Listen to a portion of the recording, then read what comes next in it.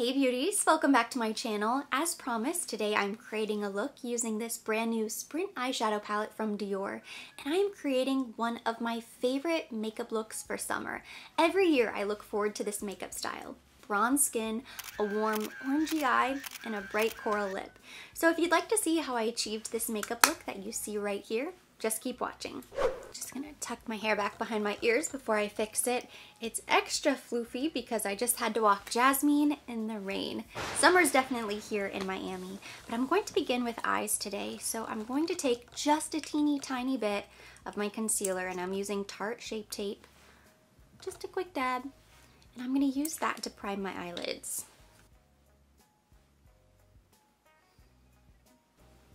It works out nicely that it's a bit lighter. That way any colors that we put on top will appear brighter. I'm going to be using my new Sprint palette from Dior. Go ahead and take those out because they're just gonna fall all over the place. I want to start with this shade, but I've tried it. It didn't really work out, so instead I am going to pull my Charlotte Tilbury Pillow Talk palette. I think this is just going to be a better place to begin. So with this little fluffy brush, I'm gonna go into this shade right here. It's kind of a peachy brown very lightly and I'm gonna buff that in the crease and that's gonna be like our transition.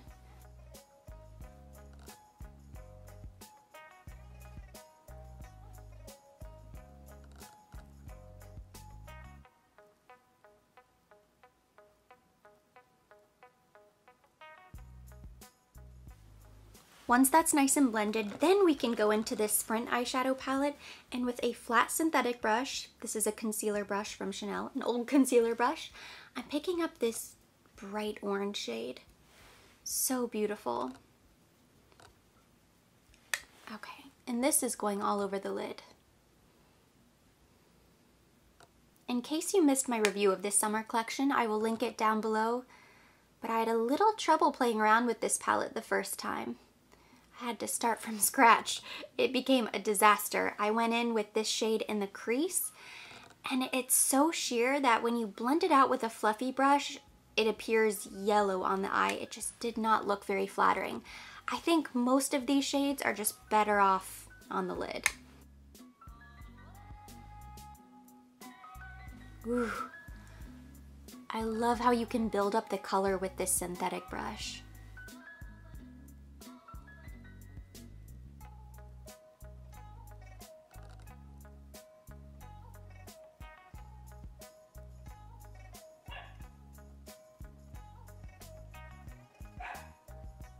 With my original fluffy brush, I'm just gonna soften the crease.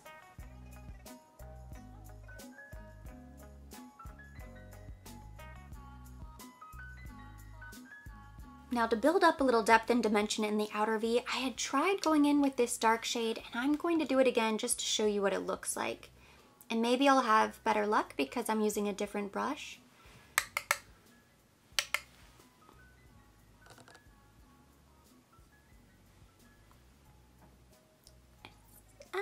Not bad this time around. It's just not quite dark enough.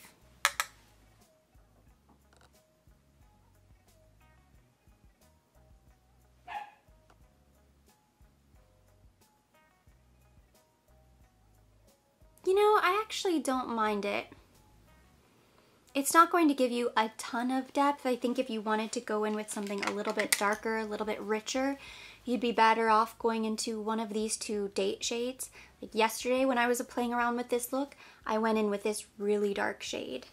I think if you only had this palette or you just wanted to use this one palette, you could make that work, but you can't really build it up much more than that. This is kind of as dark as it gets. I'm gonna kind of tap. So see, this is as dark as it gets with Dior, but I can get a lot darker with this Pillow Talk palette. And I think it's just a warmer brown going in with this, this guy right here. So you just get a little bit more impact and I think the color just complements that orange a little bit better. The deep brown in the Dior palette is almost cool toned.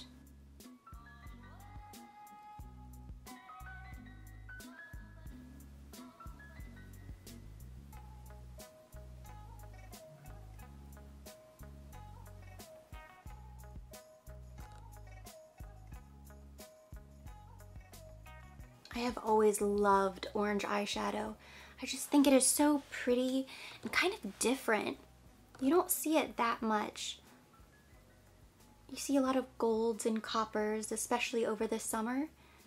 But a vibrant orange, it's just orange. My husband always makes fun of me because I say orange and he says orange, orange, not orange, orange. I'm gonna call this my Florida orange eyeshadow look. Accent and all. Same fluffy brush, I'm picking up a little bit of that first peachy transition and I'm just going to buff a little bit more into the crease.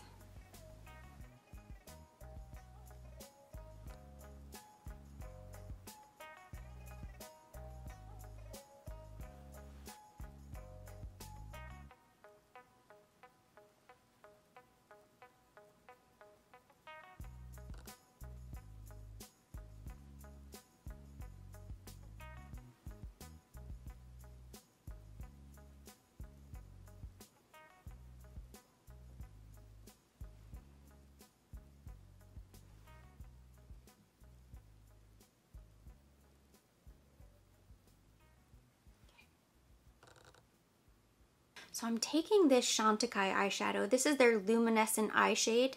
Soul is the color. This is no longer available, but I know Bobbi Brown had something similar. I'm sure Pat McGrath has something similar. MAC had something similar. So I will link all similar options down below. But I'm taking my little concealer brush and I'm picking this up. It's this pink and gold, really pretty shimmery shade. And I'm gonna pop that right in the center. Oh, you know what? It's actually better with fingers.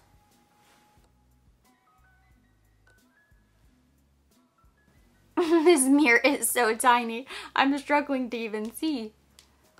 There's not a ton of fallout on my cheeks. I now have a little shimmer from that Chantecaille shade, but I want to clean up this outer edge.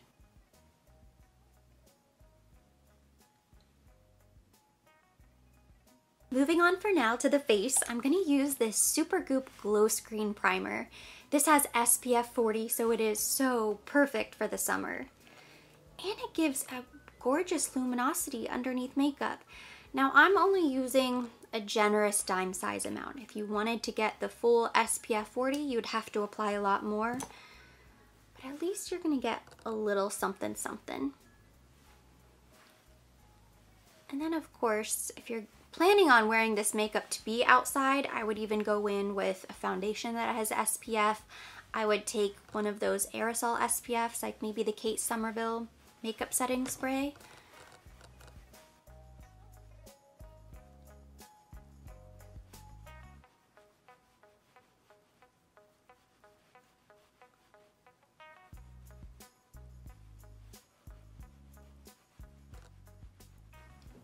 And I'm using a medium coverage foundation today because I still want to see a little bit of my skin shining through. I don't want a heavy, full face of makeup. I want my complexion to look really bronzy and luminous, but also show my freckles shining through. You can see just how much glow that glow screen has. Wow. It's pretty though. I really like it. I love the fact that it has some skincare as well. It's a lot. but I think it's really pretty. It might be too much. I think it would look really pretty on the neck chest it, by itself. On the face, I think it's a bit much, but on those days that you're wearing next to nothing, you just want a little sunscreen, you could go in with your glow screen and then maybe just pat a little bit of setting powder in the T-zone or any areas that you want to soften the glow. So for foundation, I picked out my Charlotte Tilbury Magic Foundation. I am almost done with this bottle. It is so pretty, and I like this because it's lightweight. It's kind of the perfect everyday foundation. I can always still see my skin, unlike the Airbrush Flawless, which I still love. This is just a little bit lighter. And I am going to mix in a pump of my BareMinerals Bare Pro Glow Liquid Bronzer because I want to be Bronzed Goddess. Mixing that on the back of my hand. I did Sunless Tan the other day and I used a new Sunless Tanner. Best Bronze. It's one of the clear tanners, which I've never used one of the clear mousses before. I didn't realize what a terrible job I was doing until the next morning and I woke up and I was so streaky. Like I missed a whole section of my neck. This part is tanned, this part is not. My hands look terrible. My feet look worse than they ever have, but also just my body's stripy. It's extra zebra. I made a list of sunless tanners that I'm going to review very soon. I'm excited. That's going to be a fun video because I cannot wait to compare all of the colors and truly see side by side what the difference is between them. So thank you all for your suggestions and recommendations. I know I asked you guys to submit what sunless tanners you'd like to see. And if you haven't done so already, drop me a comment. Let me know what your favorite sunless tanner is and I'll add it to the list.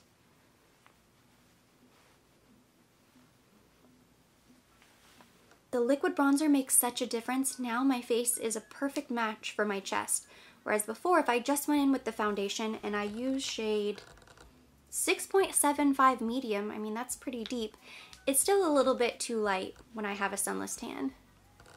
For concealer, I'm using my Tarte Shape Tape.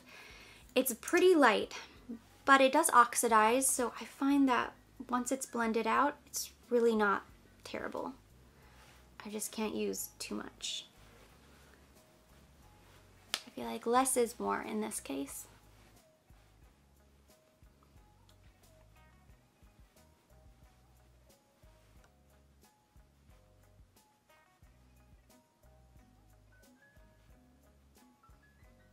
Have a lot of glow going on, so I'm going to set with a matte loose powder. This is the Givenchy Poudre Premiere Matte and Translucent Finish.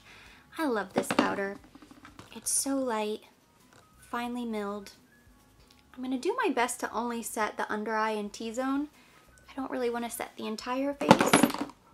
Whoops. I want to maintain some of that radiance. Okay. I just pulled out a different bronzer because I haven't used this in a while and it's nice and dark. So this is the Sunset Le Beige bronzer that came out with the Summer of Glow collection from Chanel. I'm going to take my trusty Chanel bronzer brush. And I'm gonna use this.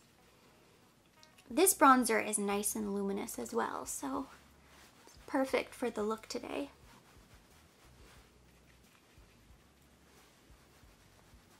The bronzers that came out with the Color Games collection from Dior are both matte. And I picked up the lighter shade. I don't mind the color, but it really is not going to work for bronze goddess makeup you need something that's really deep, maybe maybe luminous. You know, I think the darker version would probably be fine, but the one I got is just a little bit too light. This Les Beige powder is basically a luminous Les Beige. which I believe those are 58 and this one was 65. But this one has a rope pattern embossed on top and it has the little nautical rope on the outside too. So Gotta pay for that. For blush, I'm going to use Evening Beige. This is one of the new blushes that I picked up because I think this will be so pretty with our very bronze glowy complexion. So nice.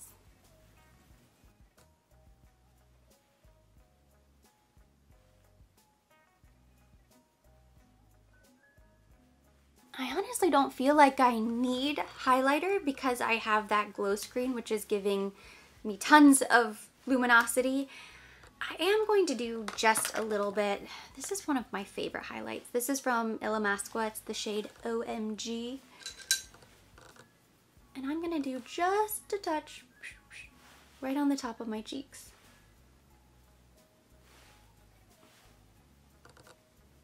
I cover my body with this highlighter. Whenever I take pictures to post on Instagram, I dust this all over my chest. I go in with a giant brush, I think I used this one, and I'll just dust it everywhere. Because the highlight is somewhat soft, and it ends up photographing really well. It seems crazy, you know, to dust highlighter all over your body, but trust me, especially if you ever have an event where you're going to be taking photos, if it's in the evening where you're only going to see, you know, hints of light, it looks really nice to just kind of go crazy. Depending on the highlighter. With this highlighter, it works. It's one of my tricks of the trade. to look extra glowy, I just rub it everywhere. Brows are now done, so let's finish the eyes. I'm taking this teeny tiny precision brush and I'm going back into this palette, picking up this really beautiful pink. And I'm going to line the lower lash line, but only the inside, definitely the inner tear duct. And then I'm taking it in about halfway.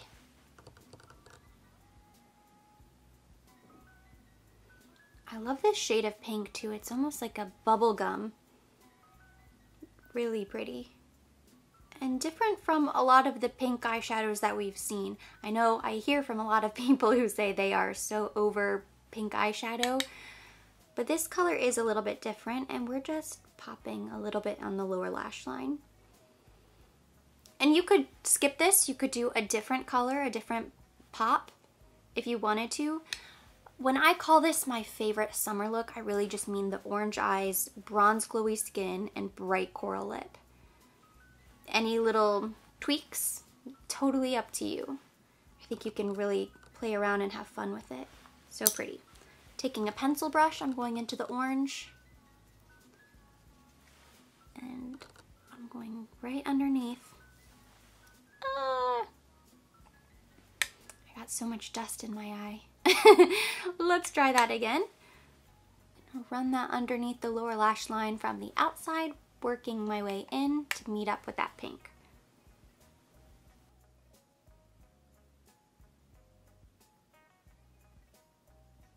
This next step is optional, but I'm taking this very old Lancome waterproof eyeliner. Unfortunately, this is no longer available, but it's a really pretty burnt gold. If you have any other gold liner, that would work. I'm putting this in the waterline. For top liner, I want to stay away from black. I want to keep the look little bit soft, warm, smoldering, not harsh. So I'm going in with this bronze eyeliner from Chanel. This is 522. I believe it's called Bronze Doré. It's supposed to be a limited color, but it is still available on the website.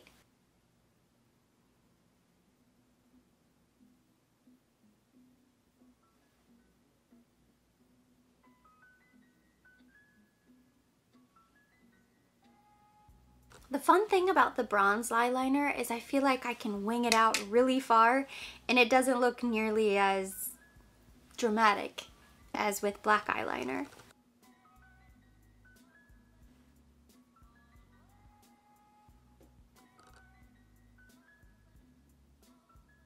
It's coming together, almost done. I am picking up a different eyeshadow brush going into this pale shade and I'm going to use that to highlight my brow bone. Doesn't have any shimmer, but I think it actually works to our benefit because we have a lot of luminosity going on. Mascara is now done, the eyes are done, the last step is lips. So I have two products here, and this is what really makes the entire look stand out. I think you could do a really soft, simple eye, something totally different, but as long as you went in with a bronzy, glowy complexion and you paired it with a similar lip, you would achieve the essence of this overall look. It's very beachy, very summer, kind of hot, tropical, night on the town type of look. So I'm going in with Dazzle. This is 146, the Rouge Coco Flash.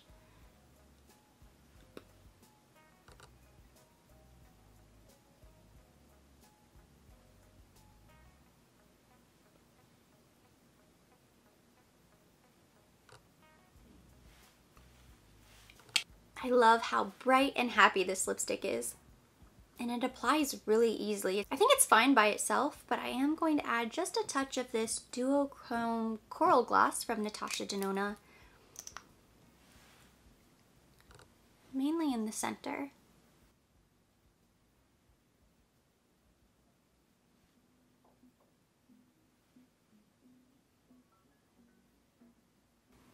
The gloss is slightly minty, so you get just a hint of plumping as well.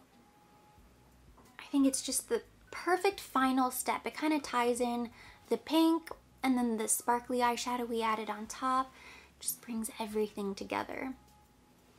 The entire look is shiny, which is another reason why I think it helps to go in with that matte eyeshadow from the Pillow Talk palette, at least in the crease. Everything else has so much shimmer. If we did all shimmered on the eyes, it might be a little bit too much. I don't know. I'm gonna go on top with that pink shade.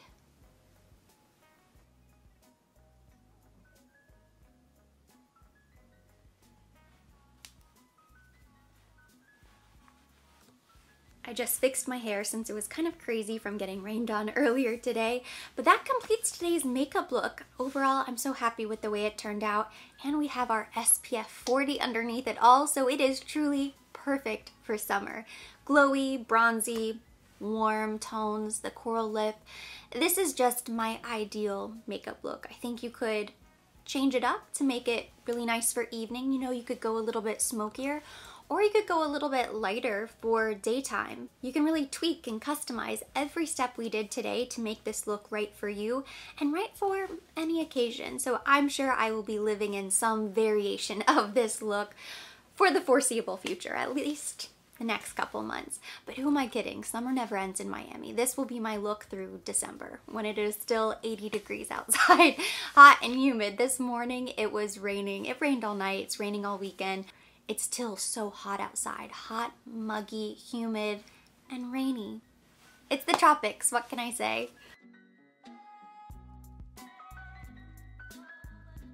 That completes today's video. Thank you so much for watching. Hopefully you enjoyed it. If you did, give it a thumbs up. Leave me your comments, questions down below. I would love to hear your thoughts on the makeup look. Maybe tell me what your favorite look is for summer, favorite products. Drop me a comment. We'll keep the conversation going there. As always, I will be linking everything mentioned, everything on my face, down in the description box for your convenience. And for more videos like this, don't forget to subscribe and hit the notification bell.